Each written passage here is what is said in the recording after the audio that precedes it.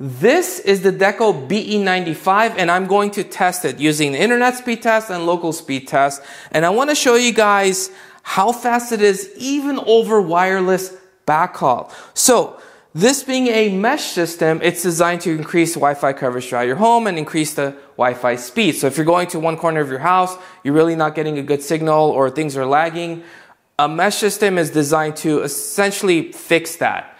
So this came as a two pack. It also comes as a three pack, but I got the two pack. Now, the other one is actually hooked up to my ONT, which is basically like a modem.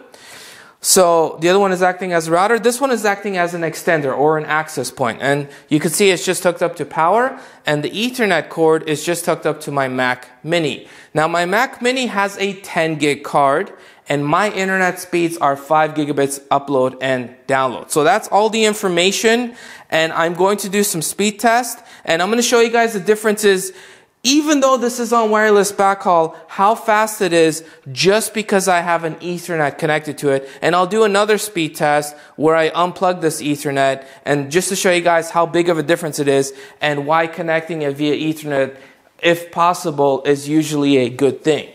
So uh, this was the last test that I ran. Let me just close this and then reopen it just so it connects to the best server. And so keep in mind, again, this deco is wirelessly talking to the main deco. I mean, look at these speeds. This is utterly ridiculous. This is as fast as my internet can go and it's actually reaching those speeds. Uh, for the download section, the upload section, it is probably going to struggle a bit more.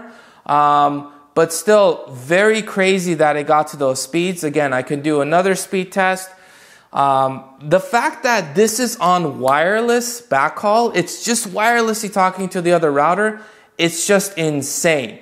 And again, so come on, come on, Frontier, you know you could do better than that.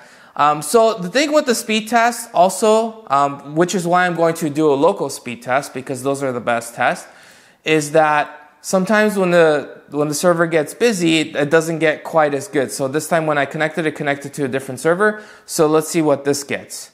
So again, this one is also reaching five. So I guess Frontier got busy on that time.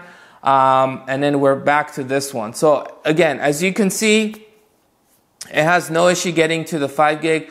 Uh, but again, the upload with Backstage, not that great. So let's do it. Let's quit this and run it again.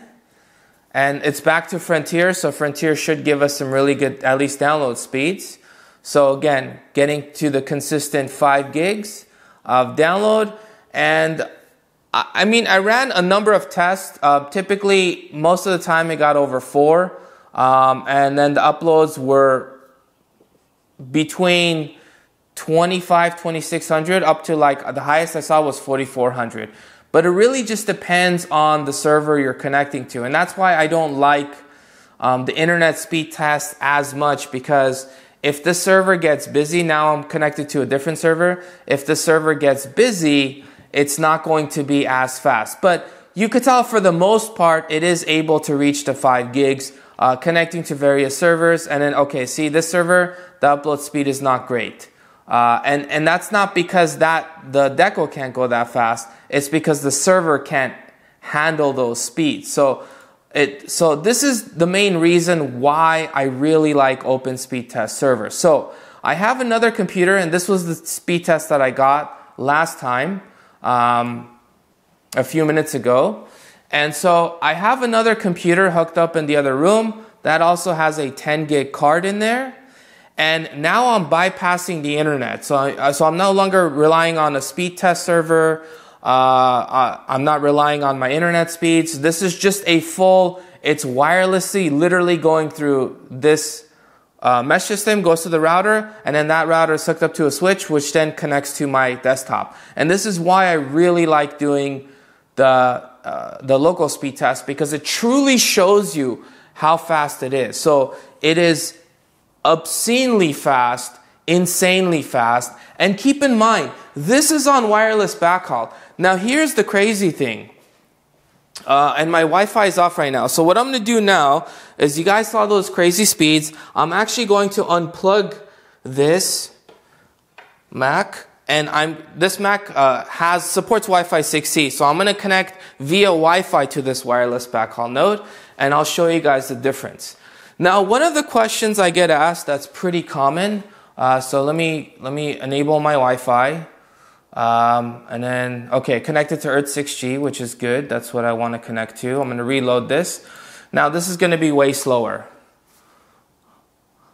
Um, so one of so one of the questions that I get asked, I mean, this this is still very good speeds. The fact that my Mac Mini is wirelessly talking to that Deco, and that Deco is wirelessly talking to the other one, which then goes through some wires to my computer, uh, even through another switch. Um, but but the question is like, okay, should I get a Wi-Fi 7 mesh system if I don't have any Wi-Fi 7 devices, or let's just say I only have one Wi-Fi 7 device? And really, the thing is that um, it depends on you. It depends on your internet speeds. Um, and we'll, we'll just do another internet speed test. Uh, Frontier is typically pretty good. So that's actually my internet service provider. So uh, typically they're pretty strong around this neighborhood. So I, I usually get better speeds with them. Um, but, but the bit, so how do I say this? Okay. So if you have if you're planning on using wireless backhaul, getting a Wi-Fi 7 mesh system may just be worth it for you. Uh, and the main reason being that even though, even if you don't have any Wi-Fi 7 devices connecting to it, um, this, because it uses the MLO to connect to the other one, it gives you absurdly fast wireless backhaul speeds.